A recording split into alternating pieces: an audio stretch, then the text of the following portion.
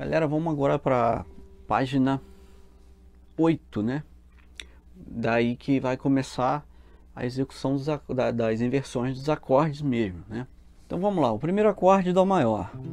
Dó maior, sua posição fundamental aqui, certo? Primeira inversão, meia pestana aqui na quinta casa, dedo 3 aqui, ó, sétima casa, na quinta corda, certo?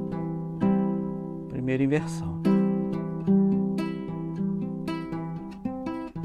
Segunda inversão, aqui, ó, desenhão de dó mesmo, só que eu jogo o dedo 3 para sexta corda, terceira casa, e o dedo 4 para quinta corda, terceira casa, certo? As três inversões de Dó maior.